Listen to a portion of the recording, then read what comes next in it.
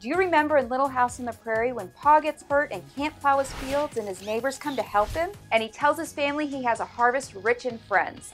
Hey there, it's Keri Lumm with Buzz 60, and a farmer in Illinois shares that well. Carl Bates is a farmer in Galva, Illinois, who is suffering from an aggressive form of cancer. As fall approached, he began to be concerned about harvesting his crop. How was he going to be able to take care of it?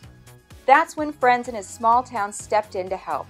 40 people came to his farm on September 25th to participate in what was aptly named the Most Amazing Harvest, where everybody chipped in to help harvest 450 acres of corn. The job would typically take a full week, but with this many people involved, it was done in just one day.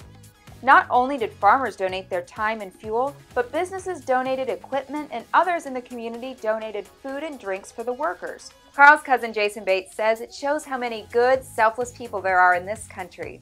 It's a good reminder for all of us. Buzz 60. Now you know, pass it on.